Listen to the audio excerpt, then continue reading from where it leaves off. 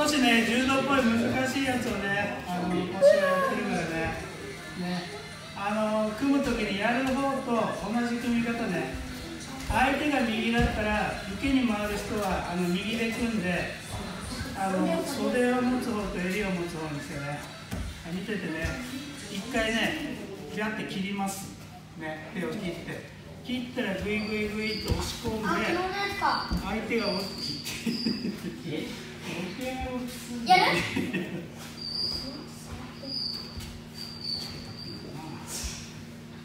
大塚君はさ、1年半で柔道で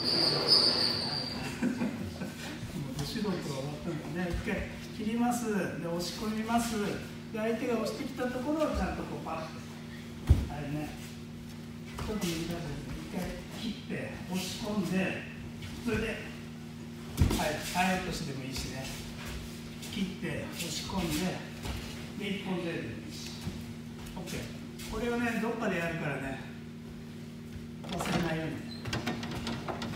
これお前ら今覚えてるうちにやったって意味ねわかるね。あとはこの間やこの間からやってるね。あの片襟のね早落とし。一ね。足を。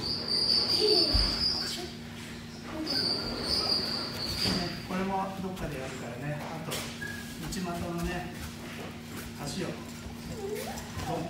相手の奥まで。ドドーンあ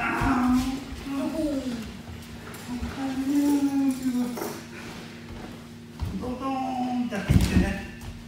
それねあのちょっと試合でできそうなねこともやるんでどっかでね忘れないでください。はい2列